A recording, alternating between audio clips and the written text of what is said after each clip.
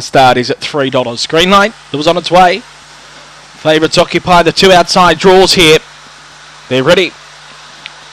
And they're racing, jumping quickly. Mummy on Star, it leads early, moving up. Fab Star joins it, and it went to the lead.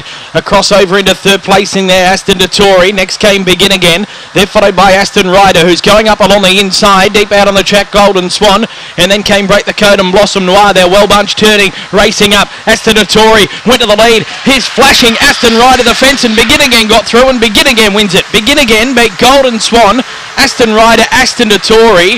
And they're followed home by Marmy on Star, Break the Code, Fab Star wasn't all that far away, but has finished well back with Blossom Noir, the time 23.29.